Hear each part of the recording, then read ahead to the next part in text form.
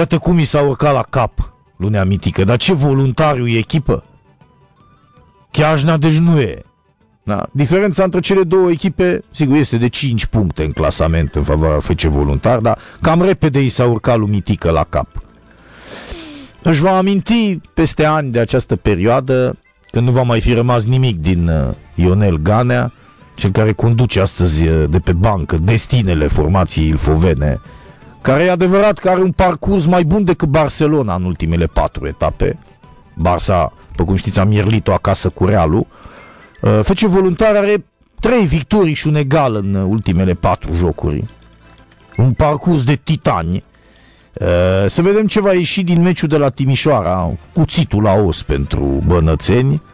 Dacă Timișoara pierde acasă cu Fece Voluntari, se îndreaptă cu pași mari spre Liga 3 și probabil uh, spre Liga a doua, pardon, și probabil spre desfințare, pentru că e un campionat unde nu merită să investești, de unde nu-ți scoți banul.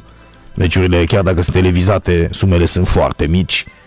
Uh, faci acolo figurație, dar ce se întâmplă dacă, de exemplu, nu promovezi în primul an? Hai că așa un an poți să încerci, uite cum a făcut Rapidul. Dar dacă nu intri la sfârșitul primului sezon, mai are rost să te bați acolo. Terenuri proaste, lotul mizerabil, salariile mai mici decât la Prozar în Liga a doua, pentru ce să joci? Deci avem în această etapă, pe lângă Chiajna Petrolul și Timișoara e, Voluntare, alte două partide, Botoșani cu Iașu. Ăsta e meciul în care e, se întâlnesc cele două echipe din Moldova în această serie cu ambiție, aș spune, nu, nu, nu pare lipsit de interes. Dacă Fece Botoșan bate aproape la 3 puncte, deși este pe 5 acum, de prima clasată. S-ar apropia la 3 puncte de prima clasată și aș mai spune ceva. Botoșaniu e locul unde a fost amenințat cu bătaia Ionel Ganea de către reporterița țaia curajoasă pe care o ține minte, avea o gură foarte lungă, subțirică, așa frumușică, o țață din asta cu microfonul în mână care se pare că nu se lăsase uh, prea ușor și după ce a încercat să o ciupească un pic uh, prin spate Liviu Ganea, sau Ionel Ganea, pardon, și n-a reușit, ea în mini speech pe care îl ține, plină de venin așa, uh, ca o codubatură, practic, îi transmite lui Ionel Ganea n-am înțeles noi foarte clar ce se întâmplă, dar ține minte că la un moment dat îi spune că ti fac eu pitinii, ceva de genul ăsta, la Botoșani, undeva. Adică are ea un frate care la rândul ei poate că știe și ea pe vreun fost deținut și vine ăla și uh, îl face pe Ganea. Nu știm în continuarea uh, episodului respectiv, n-am mai văzut nimic, nu știm dacă distinsa reporteriță a fost suspendată sau nu. Uh, asta, de asta ne aduce aminte deci de, de acest dialog. Botoșaniu prin asta este uh, în momentul de față văzut ca o echipă dificilă, greu de abordat pe teren propriu. Să nu ti facă ăia din tribune când ajungi la Botoșan sau mai rău în spatele lor. Să termină meciul, te ia unul în parcare, un malabar din ăla, un, o gorilă și sfrânge gâtul. De exemplu, atât că uh, sunt greu frecventabili cei de la Botoșani în aceste condiții. Deci un Botoșan Iași și de asemenea un Craiova CFR. Meciuri grele de tot pentru bătălia care se dă uh, spre prima poziție în acest play-out, prima poziție care ar trebui să ducă în cupele europene vara viitoare. Ne întoarcem după o pauză. Bună!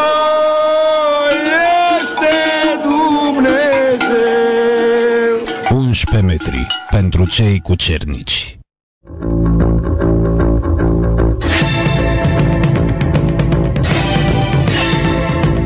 Ne întoarcem un pic din drum. Ieri am avut uh, sferturile tur ale Europa League, partide în care toate cele 8 echipe angrenate au reușit să înscrie, un gol sau două. Atletic Bilbao bătut acasă de Sevilla, care oricum era favorită, pe un 0 la 0 la pauză, de notat că andaluzii l-au pierdut pe francezul Benoit Tremulinas, fundașul stânga. Acesta a părăsit terenul după 10 minute de joc. Aduris, 37 de ani, a marcat în minutul 46 pentru Atletic Bilbao. Uh, meciul părea să aibă un sens pentru Basci, la întoarcerea uh, de la vestiare. 1-0 ar fi fost un scor remarcabil pentru Atletic. A egalat acolo Jacek, un jucător francez de origine poloneză, uh, cu pașaport francez, care vine de la stat de Reims. Era un nimeni acolo. Nothing. Ăsta era acolo Jacek, nimeni n-a înțeles cum de la lua Sevilla. Golul său din minutul 56 făcea imposibilă, practic, calificarea bascilor. În minutul 83, Ibora abia intrat pe teren în locul uh, uzatului Banega, a adus uh, victoria pentru Sevilla, care este ca și calificată. Arbitru a fost englezul Clattenburg, tot mai bine decât Hotsugan, care a arbitrat la Villarreal cu Sparta Praga. Deci 2 la 1 pentru Sevilla la Bilbao, 2 la 1 pentru Shakhtar la Braga. Atenție, echipa lui Mircea n-a avut milă de uh, formația din nordul Portugaliei.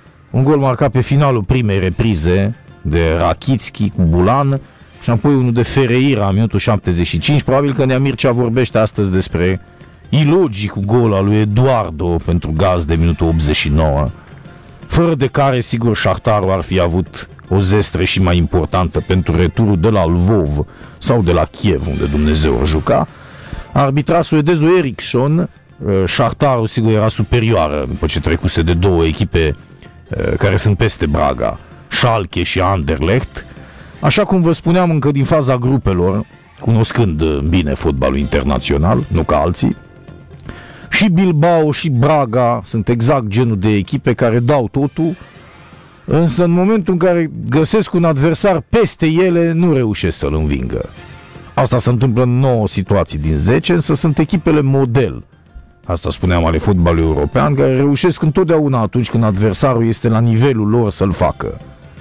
Așa a ajuns și Bilbao până aici și nu este prima dată. Pe vremea când Marcelo Bielsa antrena această echipă au fost finaliști în Europa League și au pierdut la București cu Atletico cu un scor sever, nemeritat. Uh, Bilbao n-a fost sub Atletico atunci, cum nici uh, Monaco n-a fost sub FC Porto absolut deloc. În 2003, când Mourinho l-a învins pe Deschamps cu noroc, 3 la 0 în finala uh, Ligii Campionilor, um, Așa și cu Bilbao și Braga în acest sezon. Echipe muncitorești, da, echipe proletare, aș spune, care s-au bătut cu steagul sus ca la Grivița, până când adversarul a fost un pic peste ele și s-au prăvălit. Real Sparta Praga 2 la 1, meci arbitrat de Ovidiu Hotsugan, într-adevăr incredibilă această misiune. Nu știm ce a făcut arbitrul nostru, dar e bizar faptul că probabil așteptând ca Villarreal să-și dubleze avantajul pe finalul primei reprize a prelungit uh, prima parte cu 5 minute, lucru care nu se întâmplă decât în uh, Premier League. Brabeț a egalat de nicăieri pentru Sparta Praga în minutul 45 plus 4. Două goluri ale francezului Cedric Bacambu au adus victoria lui Villarreal, 2-1 minutele 3 și 63. Nimeni nu știe cum de Bacambu, jucător de la Sochaux, a ajuns să evolueze pentru Villarreal. Nimeni nu-și explică acest lucru cum de niște jucători mediocri în Franța, Colo Jacek pentru Sevilla, de exemplu, sau Cedric Bacambu pentru Sochaux, au putut să ajungă în primera. Este inacceptabil. Acest Bacambu, care are pașaport francez, joacă pentru Dere Congo, țara de unde sunt originari ai lui. Uh, după Sochaux, unde a jucat vreo patru ani, Bacambu a trecut la Bursa Sport, dovadă că era un nimeni nothing era și de la Bursa Spor, după ce a reușit să marcheze 13 goluri în 2014-2015 în campionatul turc, a ajuns la Villarreal unde este Dumnezeu aceste echipe care se bate la câștigarea Europa League și pentru locul 4 în primera, că mai mult nu se putea. Submarinul galben are deasupra Barça, Atletico și Realul. Cedric Bacambu, care dacă ar fi rămas în Franța nu făcea nimic. Da? Un jucător absolut mediocru. A găsit, iată, până la urmă, probabil are 30 de ani, conform datelor din pașaportul său, 24, Deci undeva are între 30 și 32 de ani. Deci este în plenitudinea forței sale sportive, la maturitatea uh, fotbalistică. A dat o dublă pe care a fost înlocuit în 82. Uh, s-ar putea ca pentru Ovidiu Hoțugan să rămână totuși uh, în memorie arbitru român care va veni și va oficia la meciuri de tipul viitorul cu Pandurii uh, își va aminti de acest Cedric Bacambu excepțional și ieri. Însă totuși la acest 2-1 Villarreal tremură un pic în uh, Republica Cehă o victorie neconcludentă ca scor pentru gazde, care au deschis scorul la prima fază. Deci nimeni nu se aștepta în acel moment ca Sparta Praga să mai emită pretenții. În fine, în ultimul meci de ieri, cel mai interesant, Dortmund și Liverpool au terminat sec la egalitate 1 la 1. A fost un meci dezamăgitor. Interesant doar pe hârtie. Întoarcerea lui Jurgen Klopp la Dortmund i-a prilejuit uh, viitorului selecționez al naționalei Germaniei, cum se anticipează Jurgen Klopp, un rezultat de prestigiu, fostul jucător al lui Lille, Divock Origi, jucător format în Franța, deși este belgian, uh, a reușit să marcheze un individualist notoriu, acest Origi, un prost, pe scurt, uh, a marcat pentru Liverpool un gol mare, care nu califică pe Liverpool din potrivă, dar îi dă totuși speranță de doi bani pentru retur. E imposibil ca Borussia Dortmund să nu marcheze măcar o dată în returul de pe Anfield. Uh, Hummels a marcat în minutul 48, ăsta are nume de Ciocan. Hummels, uh, el s-ar fi potrivit perfect în naționala Germaniei din 1990 sau cea din 86 sau cea din 82, când în apărare erau numai ciocane. Ăsta e Hummels, da? A venit la o fază fixă și a băgat-o în poartă în minutul 48. Rezultat uh, dezamăgitor, au fost aproape 66.000 de oameni.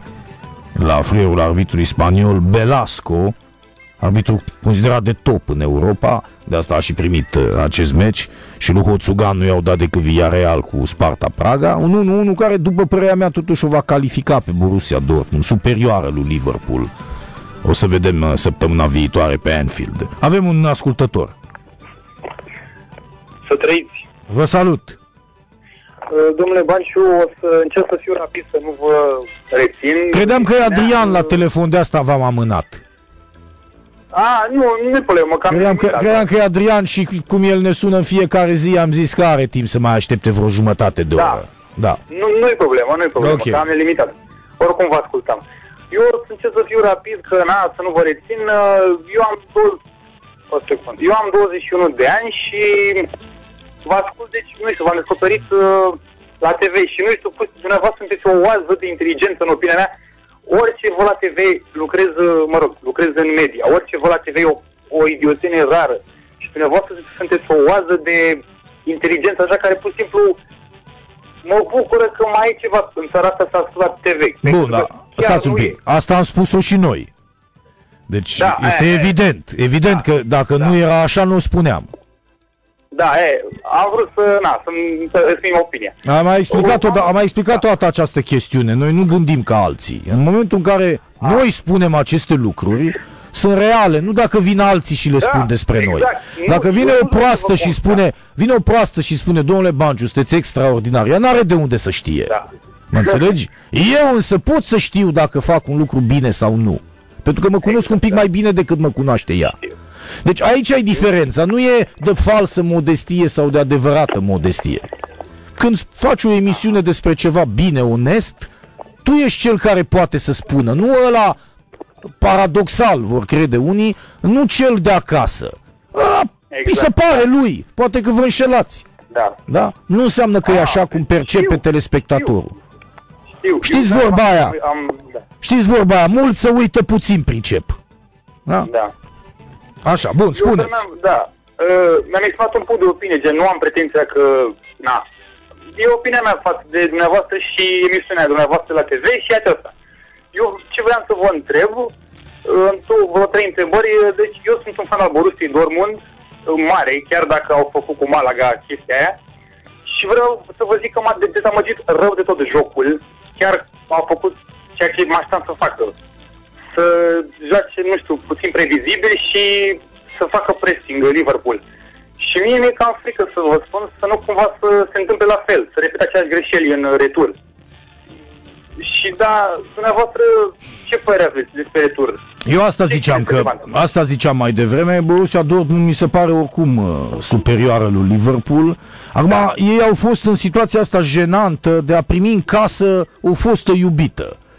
Și nu, nu știi cum să, te, cum să te comporți. Nici nu știi dacă să-i spui să se descalțe sau nu. Dacă să o inviți să intre în dormitor sau nu. Ce să faci cu ea? Da. E, a, așa a făcut da. Dortmund cu Liverpool. Adică venea totuși antrenorul care i-a dat o identitate. Nu era oricine. Și probabil că a încercat cu jocul ăsta să facă ceva care să-l surprindă pe Klopp. Habar n-am. Și nu Da, i-a ieșit. da, nu, nici eu. nu i-a ieșit. Sigur, nu i-a ieșit. Da. Rezultatul e prost, dar nu e uh, catastrofal, pentru că Borussia Dortmund marchează pe orice teren. Deci Da. este genul de echipă care dă un Da. gol, poate să joace oriunde în lume, dă un gol. Da.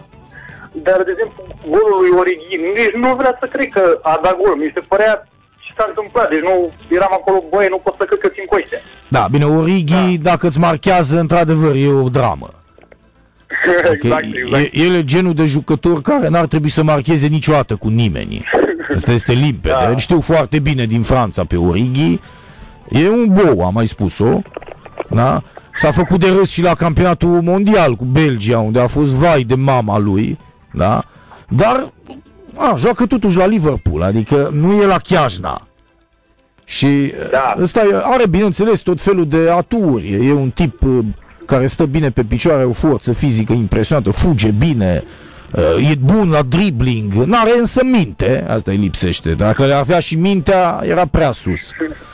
Dar, da. într-adevăr, e rușinos, așa e, să-ți dea gol. Exact. E frustrant să-ți dea gol Divo cu Origi, adică, Da. așa e.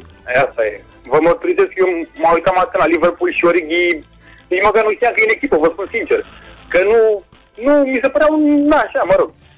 Uh, și ce mai vreau să vă întreb, uh, uitați, eu am un prieten care, na, a fost în Spania, mă rog, nu-l cred. Dar el spune că a fost umblat din partea lui Barça cu Real și s-a lăsat bătută. Eu, nu nefiind adept așa, de deși cunoscând că e lumea blaturilor în fotbal, vă întreb ce părere aveți. A fost umblat sau au jucat ei prost? Nu, no, n-avea cum să fie blat. Ah, ok. Nu, Așa da, vreau. Barcelona a fost Da. într-o situație și și acolo complicată. Adică avea titlul asigurat, uh, deschisese scorul.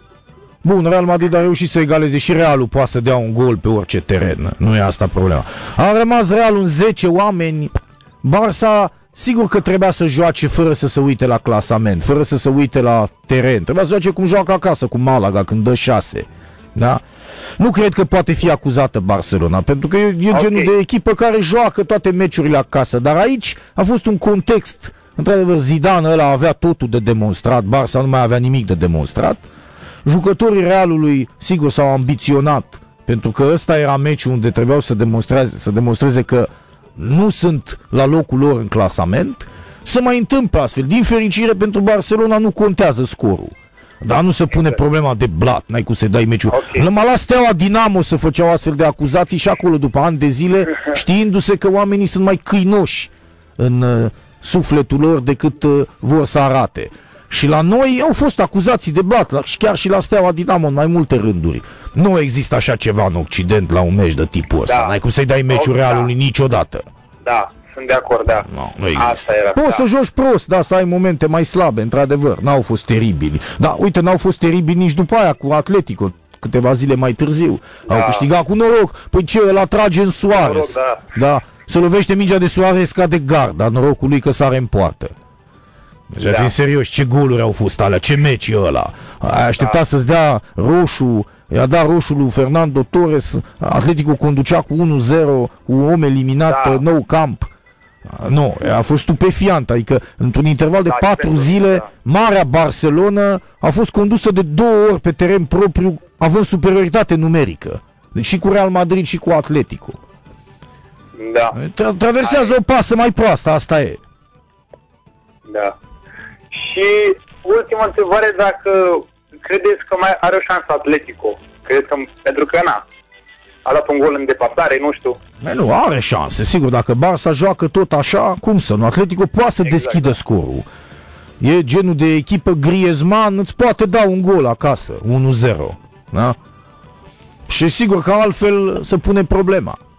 Da, ce trebuie Barcelona în condițiile alea? Un 11 metri sau să dea pe unul afară de la Atletico? Sau o lovitură liberă a lui Messi? De, de asta mă tem.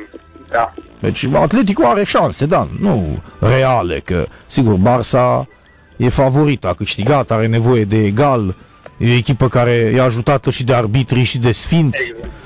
dar uh, oricum Atletico va juca, va fi meciul vieții lor. Vă dați seama, vor juca cel puțin la intensitatea cu care au jucat cu Realul în finala Ligii Campionilor, să elimine pe nenorociții ăștia. Adică pentru orice echipă spaniolă să elimini Barcelona clar ajutată de arbitrii, clar împinsă de la spate, nu este o echipă așa de mare precum se pretinde, s-a văzut în aceste meciuri, e o echipă pe care o poți anihila, Uh, nu, nu, e o mare onoare pentru cineva dacă poate să-i răpună. Atletico va face tot ce se poate. Simeone ăla e ca un bulldog. Tot ce se poate ca să-i trântească cumva împotriva, e clar că așa îi va și mobiliza. Împotriva arbitrajelor, împotriva tuturor trebuie să joace Atletico ca să-i bată. Da. Vă mulțumesc uh, de răspunsuri și sper să bată uh, Borussia. Da, bun. Numai bine, Mulțumim și noi. uh, emisiune plăcută. Să trăiți. Ne, ne întoarcem după pauză. 11 metri. Să fie pace, ca să nu fie război.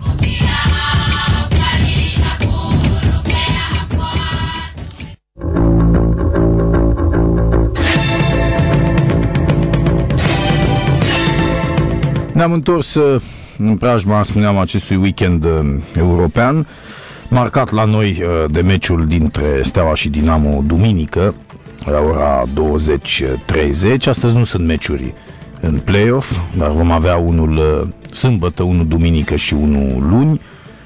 Afișurile uh, clasice sunt uh, cunoscute. Uh, viitorul cu Astra, deci important pentru echipa lui Șumudică, este prima etapă din uh, returul play-off-ului. Steaua Dinamo și Pandurii ASA, meciul de luni, care îi poate menține pe cei de la Târgu Jiu încă în lupta pentru titlu, mai ales în cazul în care uh, Astra și Steaua nu vor câștiga. Toate etapele, sigur, sunt uh, interesante în această fază, mai rămân 5 etape de jucat și se încheie campionatul și la noi.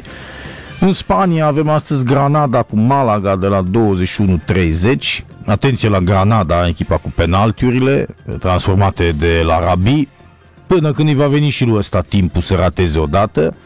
Granada ar face un salt considerabil dacă s-ar impune, adică s-ar îndepărta la 4 puncte provizoriu de zona minată, zonă pe care a frecventat-o din prima etapă. Malaga însă este într-o perioadă bună a sezonului său, pe poziția 8 -a, aș putea să spun că mai mult de atât n-aveau cum să realizeze. E, locul 8, așadar, după 4 meciuri fără înfrângere la rând în uh, campionat. Este o partidă interesantă, Granada, Malaga, astăzi. În celălalt uh, weekend al uh, campionatului spaniol, adică în celelalte meciuri, Barcelona se deplasează mâine pe terenul lui Real Sociedad, o echipă lipsită de griji și de pretenții, locul ideal pentru Barcelona să câștige, este obligată să o facă după rezultatele proaste din ultima vreme, uh, egal la Villarreal, înfrângere acasă cu Realul și respectiv victorie chinuită cu Atletico în Champions League, trei meciuri proaste la rând. A venit ocazia poate pentru Barça să se impună într-un teritoriu nu chiar atât de ostil. Știe că pe vremuri erau mulți basci la Barcelona. Atletico Madrid joacă pe terenul lui spaniol. Oamenii lui Gâlcă sunt și ei într-un moment bun al sezonului. Au patru meciuri la rând fără înfrângere. E adevărat că o înfrângere de data asta a spaniolului acasă cu Atletico, să spunem la un scor de neprezentare, a readuce iarăși o serie de întrebări în uh, Catalunia. Uh, spaniolul dintr-o dată nu s-ar mai vedea așa de confortabil uh, situată la mijlocul uh, ierarhiei. Real Madrid joacă acasă cu Eibar, ceea ce pare să fie o formalitate, mai ales că Eibar este în regres total. A pierdut trei meciuri în ultimele 5 și a făcut două egaluri. Este una dintre cele mai slabe echipe din campionat ca și dinamică, în momentul de față alături de Hetafe, penultima clasată. Villarrealul va juca pe data de 10, deci duminică, după ce a jucat ieri, adică joi, acasă cu Hetafe. Ocazia pentru Villarreal să câștige acest meci, să infunde un pic mai mult pe cei de la Hetafe. Hetafe și Levante Eh, chiar dacă încă nu sunt condamnate echipele de pe ultimele două locuri în eh, Spania, par să aibă totuși, după părerea mea, mai puține argumente decât Gijon, Granada sau Rayo. Valencia este pe 15 de urmărit ce va face în acest weekend, după ce l-a dat afară în sfârșit pe Gary Neville, nu și-a revenit, are patru înfrângeri la rând și întâlnește acasă pe Sevilla, care vine și ea după două bătăi la rând în eh, campionat, a ajuns pe 7 Sevilla, Meci extraordinar de important ăsta. Între Valencia și Sevilla, cea care va pierde va sta rău de tot în uh, campionat. Avem astăzi un Hertha Hannover în Bundesliga, meci la îndemâna berlinezilor care sunt pe poziția 3 în clasament, vin după papara de la Mönchengladbach unde au luat 5. Hannover este picată, are 10 puncte mai puțin decât uh, penultima clasanta Eintracht Frankfurt Hannover așadar se va despărți în mod cert de Bundesliga la capătul acestui sezon. Hertha are nevoie de victorie. Dacă nu va obține, riscă să piardă locul al treilea în mod stupid. Uh, locul al treilea care duce direct în Liga Campionilor, păstrează 3 puncte avans față de Gladbach. Bayern München joacă la Stuttgart în acest weekend după ce nu s-a descurcat în Liga Campionilor cu Benfica, a amânat deznodământul pentru săptămâna viitoare. Mergi la Stuttgart, Stuttgartul are totuși uh, uh, un avantaj de 6 puncte față de echipa de pe locul 16. Se va bate, sigur, cu Bayern. Nu va fi un meci uh, la îndemână pentru bavarez, dar nu știu dacă Stuttgart are posibilitatea să încurce pe Bayern. În orice caz, o înfrângere nu îi avantajează deloc pe șvabi, care uh, vor trebui să privească cu și mai mare atenție înspre subsolul clasamentului. Dar măcar Stuttgart este obișnuită. De asta nu cred că va retrograda. Este o echipă care în ultimii ani numai cu asta s-a ocupat. Și știți că a evita retrogradarea e o meserie. De altfel, în Franța a devenit un clișeu la modă și se aplică cu o ușurință și cu o dezvoltură incredibile echipelor, cele care știu să se lupte împotriva retrogradării pentru că numai asta fac în uh, existența lor și cele care nu știu și care echipurile din aceste motive sunt dezavantajate. OM sau Bordeaux, de exemplu, nu sunt echipe care să știe să se lupte împotriva uh, retrogradării. Și atunci uh, ele sunt dezavantajate în lupta cu echipele modeste, gen Guingamp, care se bate în fiecare an și te fac ăia. Pentru că sunt mai iscusiți în lupta asta, așa se spune, e o tâmpenie, evident. Tu dacă joci, te gândești doar la meciul de pe teren, cu ce te influențează clasamentul? E o prostie, da. Jucătorii sunt influențabili ușor, pentru că nu-i duce capul. Și atunci, citind chestiile astea, auzindu-le de sute de ori, ei chiar consideră că sunt reale. E o prostie a presei. Asta cu meseria de a te lupta împotriva retrogradării. Dar de ce o echipă cu un buget de 10 ori mai mare și cu niște salarii imense este dezavantajată în lupta pentru evitarea retrogradării în duel cu una slabă? În fine, Stuttgart de asta spun. Chiar dacă va pierde cu Bayern în acest weekend, ei știu să se lupte împotriva retrogradării pentru că se ocupă cu așa ceva. Dortmund joacă la Schalke, este derbiul zonei, Uh, aminteam și acum câteva zile, distanța în clasament însă între cele două echipe este formidabilă, de 23 de puncte în favoarea lui Dortmund, care este și ea calificată deja pentru ediția viitoare a Ligii Campionilor, un avans covârșitor față de Hertha Berlin, aproape 20 de puncte, uluitor. Cum s-au desprins Bayern și Dortmund, 5 puncte între cele două cu 6 etape înainte de final, greu pentru Dortmund. Evident să mai recupereze. Între celelalte meciuri ale etapei, Ingolstadt-Gladbach scapă Ingolstadt. Este pe locul 9, probabil vor pica sezonul următor. Anul ăsta stau confortabil, Uh, Leverkusen joacă la Köln. Ce derby este ăsta? Ăsta e adevăratul derby al fotbalului german. Asta o spun pentru cunoscători.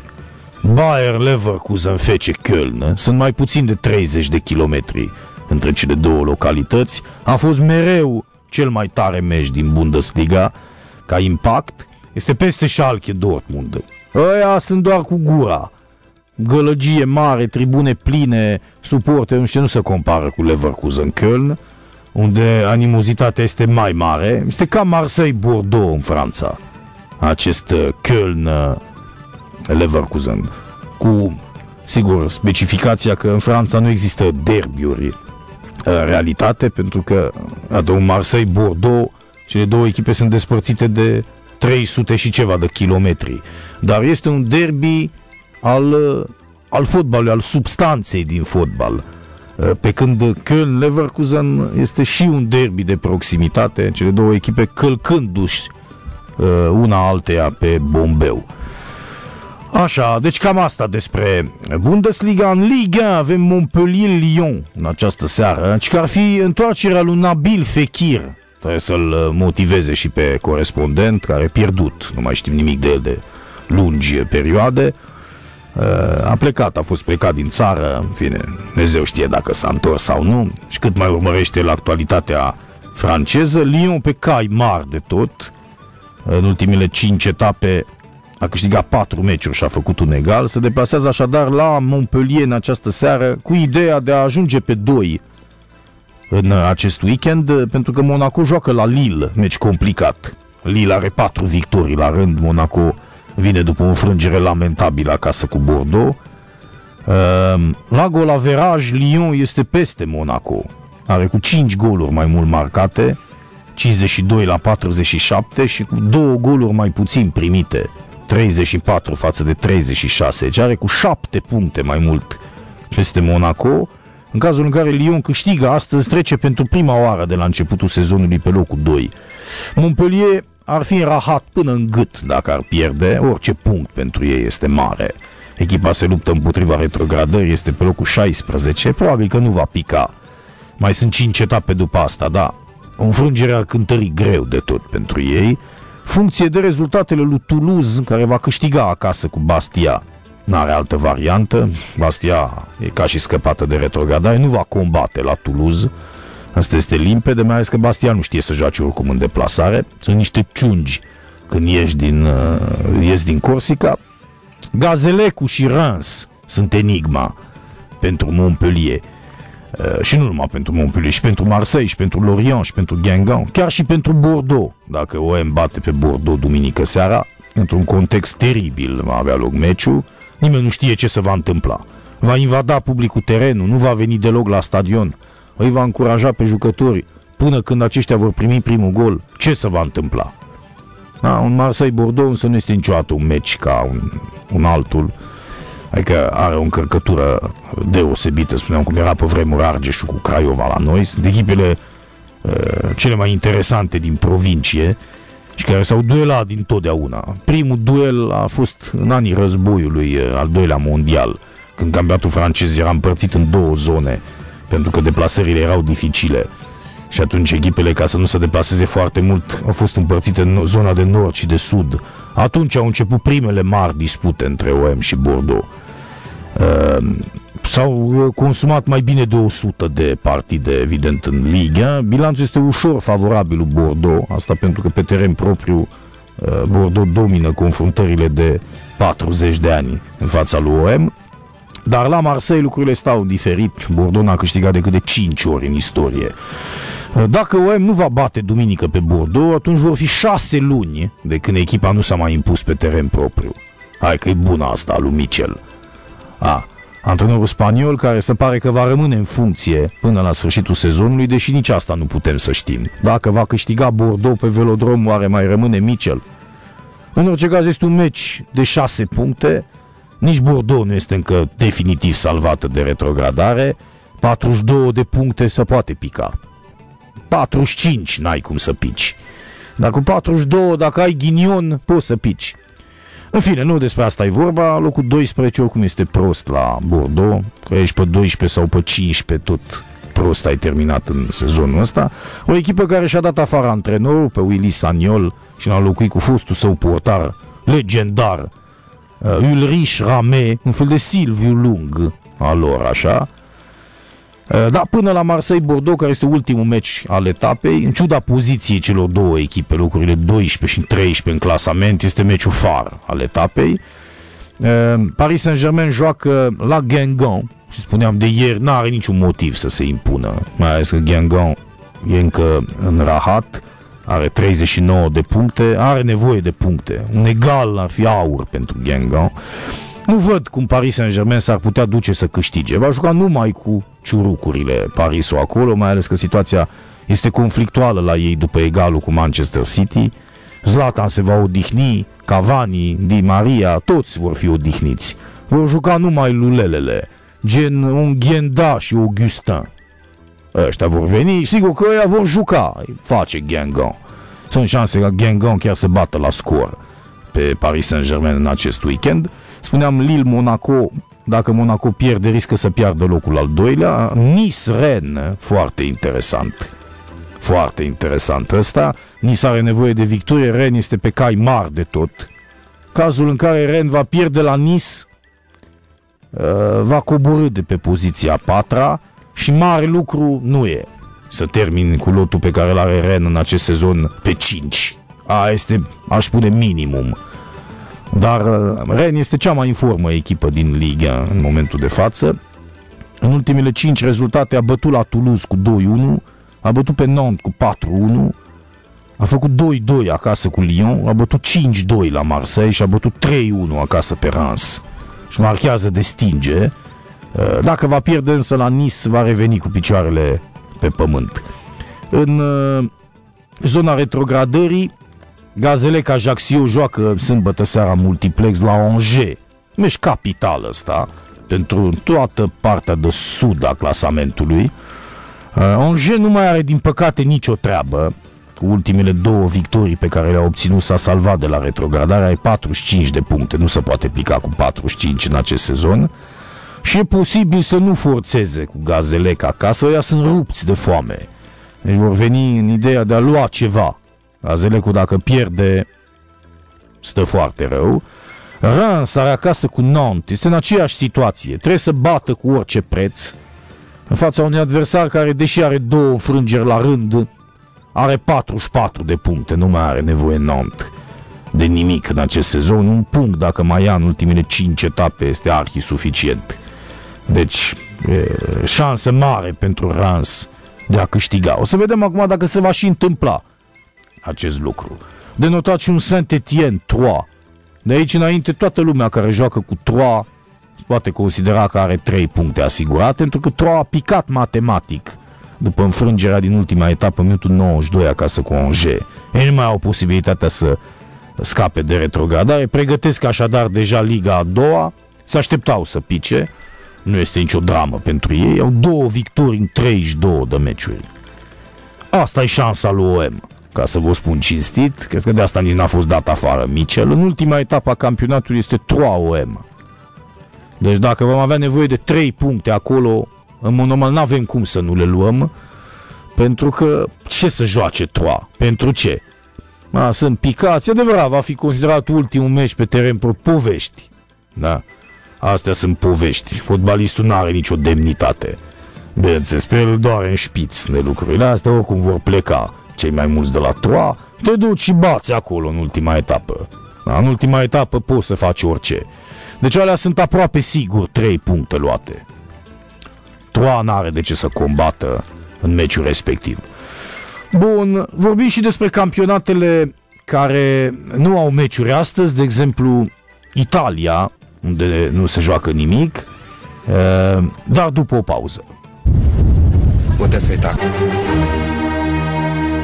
11 metri pentru cunoscători.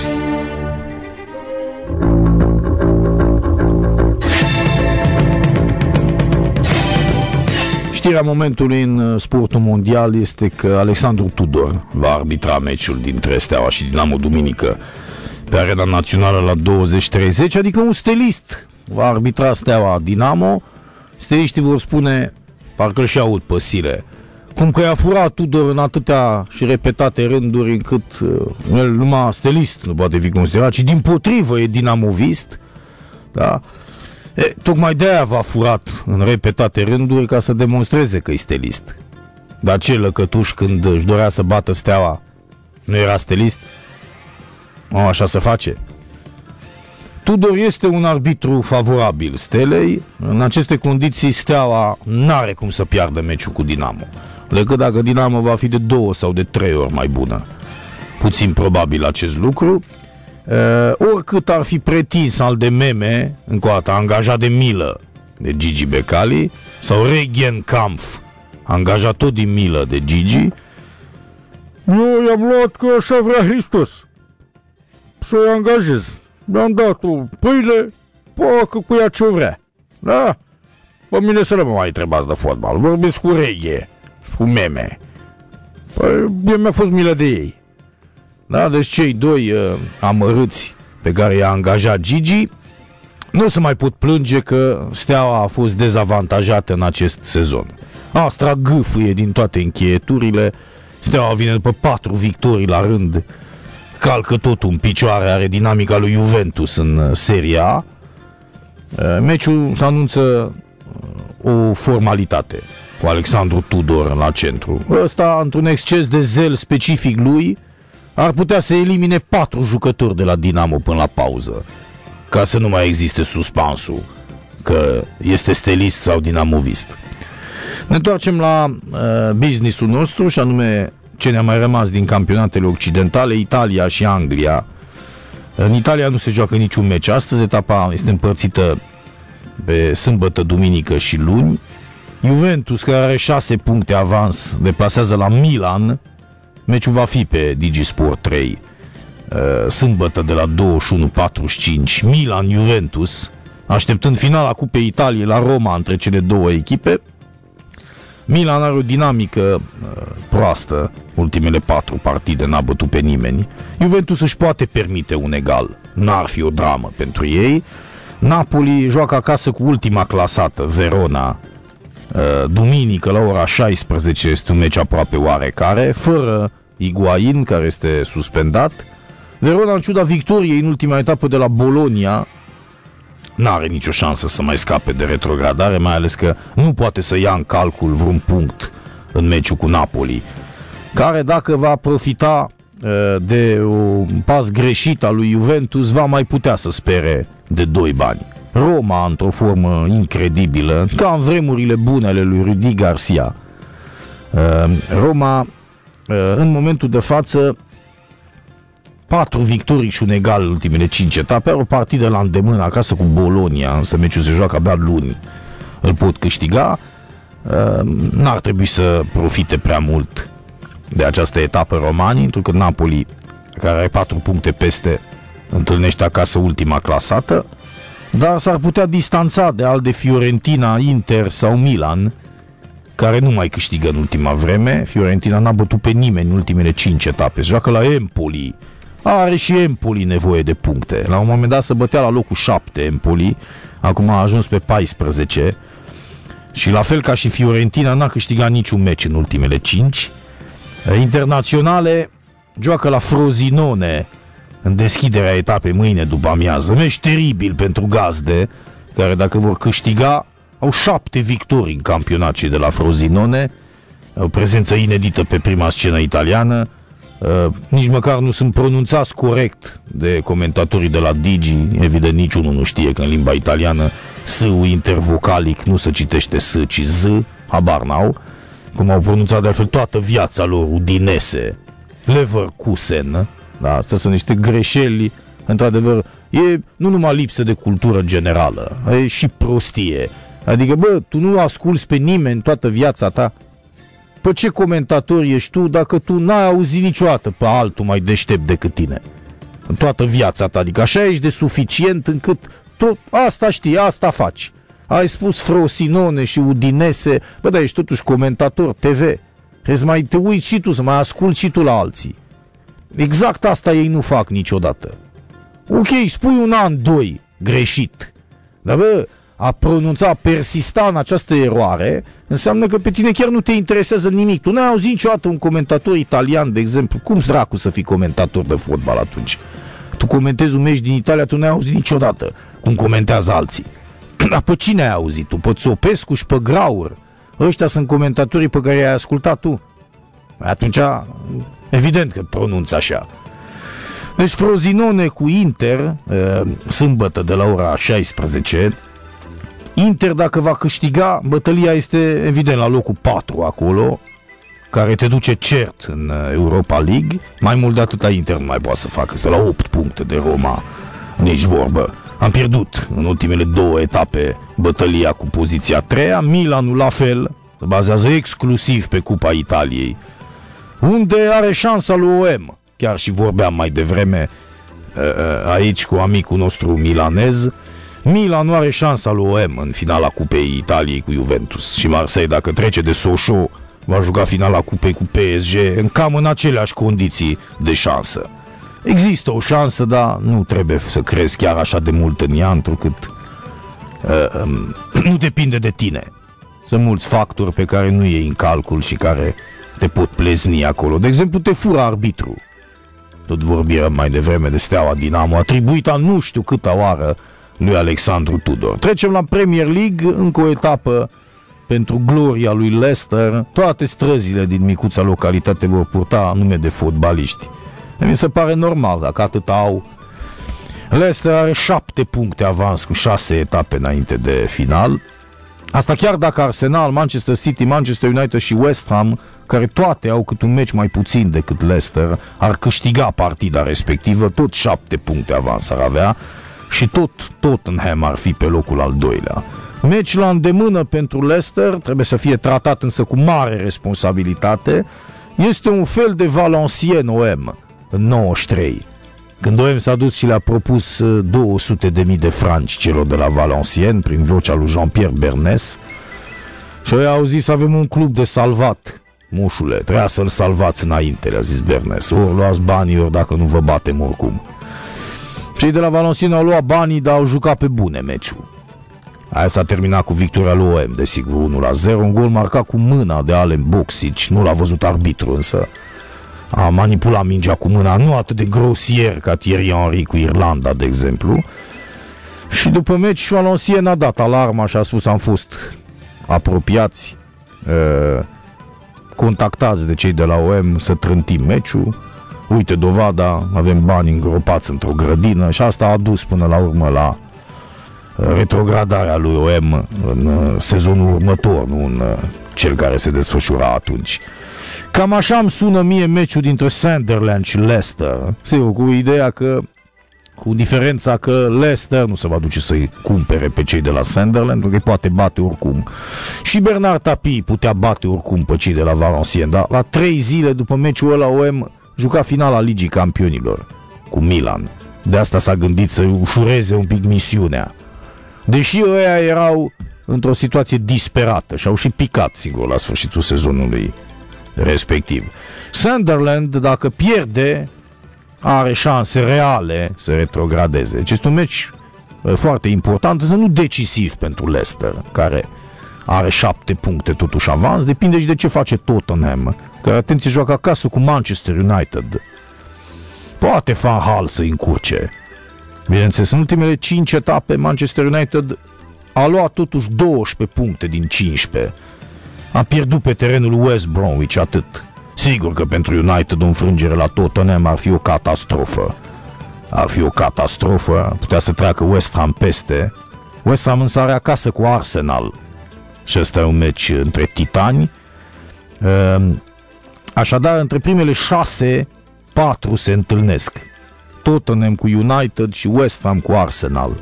Leicester are meci la Sunderland, iar City are acasă cu West Bromwich. Nu știu dacă îi va bate. Ehm, City e slabă de tot pe teren propriu. West Bromwich nu e o echipă chiar așa de ușor de bătut. O echipă solidă în Premier League are 40 de puncte, nu mai poate să pice, dar va juca probabil. Manchester City are cu totul și cu totul mintea la alte prostii în momentul ăsta, și anume la meciul cu PSG-ul de săptămâna viitoare, tot acasă, unde n-are voie să rateze. Pe când vor mai fi cei de la City într-o asemenea situație? Să plece meciul de la 2-2 în deplasare, cu toți goluganii pe care i-au la dispoziție și Paris Saint-Germain fără vreo patru oameni, David Luiz, Matuidi, Pastore, lipsesc cert și Verratti. Deci David Luiz, Matuidi, Pastore, Verratti sunt deja out. E clară treaba, da? Deci nu interesează foarte mult meciul cu West Bromwich, chiar dacă, sigur, uh, trebuie să arunce un ochi și la clasament, nu își pot permite să-l neglijeze cu totul, întrucât măcar poziția patra să o obțină la final și să prindă un loc de Liga Campionilor la anul, că dacă nu ar fi o catastrofă. Manchester City cu Dita mai Guardiola antrenor să joace în Europa League. Cu cine, bă? Cu Concordia Chiajna? Sau, pardon, cu fece voluntari. Am uitat că mitică e mai mare decât aia de la Chiajna. Păi fece voluntar, da? Să știți că nu e o utopie. Cum ar fi, bă, fraților, să ajungă mitică Dragomir să-l scuipe între ochi? Aici, bă, la noi, bă, Tăpșan, la voluntari. Într-un tur preliminar pe Guardiola. Da? Manchester City ratează calificarea, e eliminată de Paris Saint-Germain, să zicem, marțea viitoare, termină pe 4 în Premier League, ratează calificarea în uh, Champions League în playoff și ajunge în Europa League, unde dă peste mitică Dragomir. Fece voluntar terminând pe 7 în România. Da, joacă mitică cu Guardiola. Doar în pălărie, bă, pe mitică. Da? Vine ăla la voluntari. Bine, mai puțin probabil în tururile preliminare, pentru că sigur Manchester City s-ar duce direct în, uh, măcar în play-off-ul Europa League, ceea ce pentru fece voluntare ar însemna să treacă de vreo 3 tururi ca să ajungă până acolo. Cine știe? Cine știe? Să duce, trece de... Poate că nu va fi mai rău. Manchester City nu termină pe 4, termină pe 5. Are ce are? Un punct avans față de United, 3 față de West Ham, poate să termine și pe 6. Da? Îi depășește și United și West Ham. Termină pe 6. Joacă în turul 3 preliminar. Nici nu știu unde începi dacă termin pe 6 în Premier League. Uh, probabil acolo, undeva în turul 3 preliminar. Deci te poți întâlni cu neamitică. Vine Guardiola, bă, la voluntari. Da? Voluntari, am înțeles, are cel mai bun gazon din România. Deci de ce n-ar putea organiza? Până atunci o să fie gata și nocturna. Uite, chiar i-aș transmite lunea mitică, dacă tot ne aude. Domnule, nu mai organizați, nu mai uh, inaugurați, pardon, nocturna cu Craiova. Inaugurați-o cu Manchester City în preliminariile Europa League vara viitoare. Eu zic că merită să așteptați până atunci. Vine Guardiola și dați cu nocturna în cap la voluntar, să vă țină minte cât o trei. Deci cam așa se prezintă situația în partea de sus a clasamentului în Premier League. De notat, sigur, clienții noștri, Chelsea, locul 10, joacă pe terenul lui Swansea, care s-a cam asigurat cu rămânerea în prima ligă, asta le și trebuia. Au 10 puncte peste Sunderland. Liverpool joacă acasă cu Stoke City, are nevoie de victorie, deși uh, Liverpool uh, tot așa pregătește meciul de joia viitoare cu Dortmund. N-are timp de prostii. Uh, da, trebuie să bată pe stoc pentru că Liverpool este echipa cu cele mai puține meciuri jucate în Premier League. Este singura echipă din 20 care are 30 de meciuri jucate. Va mai ieși, mai ieși Everton.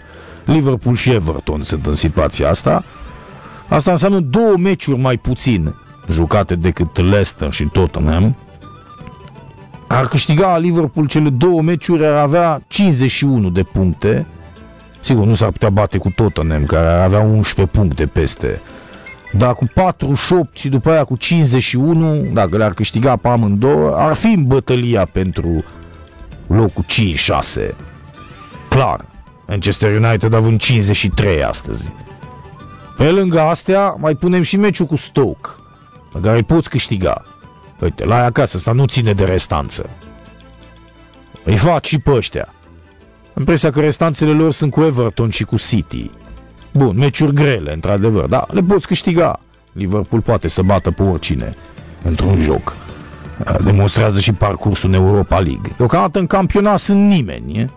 Locul o 9 e zero barat, nu de asta l-a adus pe Klopp ca să termin pe 9. Dacă ar fi știut chestia asta, l-aduceau abia din sezonul viitor. Deci, deocamdată situația este proastă în campionat, lamentabilă, dar poate să mai fie îmbunătățită dacă reușești să mai bas pe cineva în următoarea perioadă. Revenim după o pauză. 11 metri, 100% natural.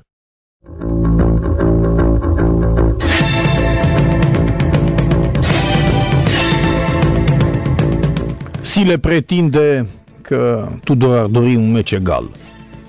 Uh, la sfârșitul acestui weekend între Steaua și Dinamo, duminică de la 20.30, uh, un egal care, într-adevăr, n-ar avantaja pe nimeni, mai ales dacă Astra se impune, uh, două puncte pierdute de Regenkampf și de meme și în condițiile alea ne întoarcem la ceea ce am tot spus. Eu despre fotbal nu mai vorbesc, da? Vorbesc cu Tudor. Vorbesc cu meme, vorbesc cu cine vreți. Da, cu mine ați terminat cu fotbalul. Eu nu mai vreau să mă întorc la pușcărie. Eu nu mai vorbesc despre fotbal, vorbesc despre Hristos. Și un egal n-ar fi un rezultat uh, favorabil stele și când ai această șansă cu Tudor la centru, în fața unui Dinamo mai puternic decât în ultimii 10 ani. O gașcă de asta de jucători uh, uh, de origine africană interesanți la Dinamo cu marele Mircea Rednic pe post de uh, călău, pardon, pe post de antrenor, eu spun că poți să iei, poți să iei ceva. Viitorul Astra, sâmbătă de la 20.30, Steaua Dinamo, duminică de la 20.30 și Pandurii cu ASEA luni de la 20.30, toate partidele sunt pe Digi, Dolce și Luc, cel puțin până la sfârșitul sezonului. Vom mai vedea ce se va întâmpla după. Un post de radio catalan a anunțat că Spaniol va renunța la Gâlcă, scrie Digi Sport, e logic. La sfârșitul sezonului vor renunța la el pentru că uh, Gâlcă a preluat echipa într-un moment uh, greu, dar nu catastrofal și o ține tot acolo. Pentru asta n-ai nevoie de un străin. În ciuda faptului că echipa sa este în ultima perioadă pe un trend ascendent, scriu uh, cei de la Digi, asta am povestit și noi mai devreme, Vineri, adică astăzi, în media spaniolă s-a propagat informația conform căreia Gâlcă a rămas să fie înlocuit de Paco Hemes, bun antrenor ăsta. Actualmente la Raio a, a anunțat și pe lista lui OM. Da, sigur nu va veni Paco Hemes la Marseille dintr-un motiv simplu. Prea a dat kicks Mitchell, încât să se mai riște tot cu un spaniol, ă, spaniolii nereușind în istorie până acum ă, niciodată la Marseille, cei trei antrenori care au fost, doi, cel puțin în epoca modernă, Javier Clemente și Michel Gonzalo del Campo ăsta, deci din motivul ăsta, până la urmă, nu va veni Pacu Hemes. Vorbește la OM, mai bine ați scrie despre asta decât despre spaniol, că nu interesează pe nimeni. Spaniolul, mai bine ați scrie despre cine vine antrenor la OM. Greu de spus, favorit ar fi, după mine, în momentul de față, Rudy Garcia, să știți.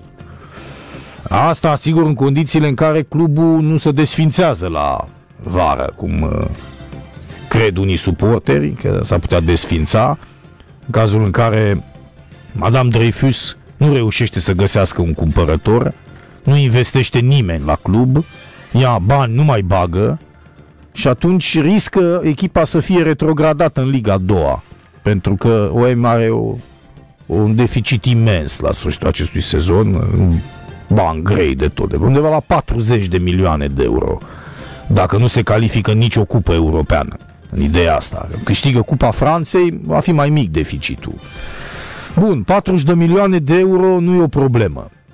Până la 30 iunie, când se vor prezenta la DNSG, trebuie să-l vândă pe Miși. Miși poate să fie vândut, dacă nu cu 40, cu 35 de milioane îl dai în Anglia.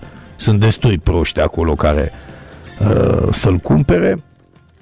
E o afacere până la urmă, sigur, Miși, da. E un preț pe care OM îl poate scoate, pentru că e tânăr. Să vedem dacă va juca la Euro sau nu.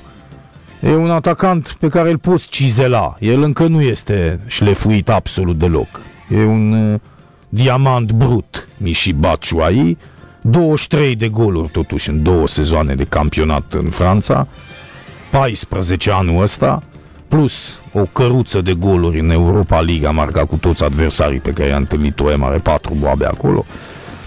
A marcat uh, și în Cupa Ligii, să nu uităm sezonul trecut cu Ren. Uh, a marcat și în Cupa Franței sezonul ăsta, în meciul câștigat la Granville cu 1-0, deci el a marcat în toate competițiile pentru OM. A venit vremea să fie transferat pentru că nu sunt bani, 35-40 de milioane de euro pe el și atunci deficitul ar fi recuperat. Dar dacă Madame nu mai investește și nu găsim pe nimeni, sunt șanse ca echipa să nu mai continue într-adevăr, pentru că este într-o derivă absolută. Deci astea sunt chestiuni importante, nu ce face spaniol. Doare pe mine în șpiț că spaniolul ține pe gâlcă sau nu. Ce reprezintă spaniolul? Să fie sănătoși. Uh, îl iau pe Paco Emez, e același lucru. Las că gâlcă are un să se ducă, nu e nicio problemă. Este o tentativă de destabilizare acum, când suntem foarte aproape să ne asigurăm matematic prezența în Liga și în sezonul viitor. Sau mărginii să spună conducătorii lui spaniol, logic, ei nu vor să-l dea afară pe gâlcă acum. Pentru că n-ar merita să-l dea afară, ar trebui să aducă pe altcineva să-l plătească și pe ăla, să-l plătească și pe gâlcă că-l dau afară. Este exact ca la Mitchell. S-a mers pe riscul să-l ținem pe prostul ăsta până la final încă șase etape, ca să nu mai plătim încă unul. Tot degeaba, adică pentru ce? Să terminăm pe 10? Și a zis, lasă-mă că poate nu retrogradează tâmpitul ăsta. O lua și el 3 puncte în ultimele 6 etape. Nu evident. Da, dacă nu ne dă meciul Troa în ultima etapă, nu știu dacă le luăm. În orice caz, e o șansă să-i convingem pe ei atunci să nu mai tragă, că și așa nu mai le folosește la nimic, o frecție la un picior de lemn pentru ei. Și cu trei puncte să ținem pumnii să nu ia ăia la alții, câte trebuie să scăpăm. Dar de la anul la revedere, pe cine știe, poate vine gâlcă la OM în condițiile astea, dacă tot nu mai e bun la spaniol. Potrivit planeta deporte.s, Patronii lui spaniol intenționează să acorde lui Gâlcă 45 de milioane de euro pentru transfer în pauza de mercato din vară. Chinezul Chen, nou patron al echipei, visează la grupele ligii campionilor, dar în regulă, dar nu cu Gâlcă. Și e conștient că doar alocând sume importante pentru mutări va putea avea acces la masa bogaților. 45 de milioane e un jucător mediocru pentru campionatul Spaniei. Ce să faci cu 45? Poți să iei 10 jucători, dar de nivelul stelei.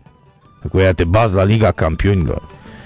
Dacă vrei să iei de 45 de milioane, poți să iei unul mediocru, încoată spun, din Liga. Nici Gameiro nu-i de vânzare la 45 de milioane. Care, sigur, e bun. Îți dă 25 de goluri într-un sezon în Spania. Da, nu e de nasul tău Gameiro la 45 de milioane, nu-l dau ăia de la Sevilla, nu-s proști mai câștigă 3 Europa League cu el. De ce să-l vândă? Îl dau la Real Madrid pe 70 de milioane, dacă vor ea. Asta da. Deci nu cred în menținerea lui Gâlcă la spaniol, pentru că el n-a făcut mare lucru. Că i-a salvat de la retrogradare nu-i mare șmecherie. Deci asta cred că puteau să o facă și dacă rămâneau cu fostul lor antrenor. Nu vom ști niciodată, sigur, dar uh, în orice caz dacă vii și investești la echipă, nu-l ții pe Costel Gâlcă antrenor, care până la urmă sigur că nu s-a făcut de râs la Spaniol, echipa nu e ultima, dar nu poți să-i acorzi credit, mă, pe banii tăi. Așa că dă bine la noi în presă, asta e altceva.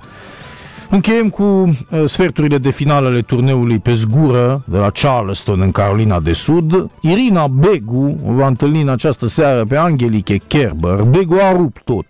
Are totuși un psihic bun uh, românca. A reușit să o învingă și pe puertoricana Monica Puig. După ce a pierdut primul set cu 6-1, Begu și-a revenit, a câștigat 6-2, apoi a dus-o la pădure pe portoricană și a bătut un tiebreak 7-4. Sloan Stefan s-a trecut de Daria Gavrilova. Avem tablou complet al sferturilor de finală care încep în această seară în uh, acest turneu american, ultimul din Statele Unite în această perioadă. Deci Kerber numărul 1 cu Begu numărul 13, Stephens, americanca de culoare numărul 7, cu Kasatkina numărul 14, Kasatkin a, a trecut de Chirico, o americancă necunoscută în uh, turul precedent, nu e mare lucru. O bătuse pe Ania Coniuh în 16 -mi.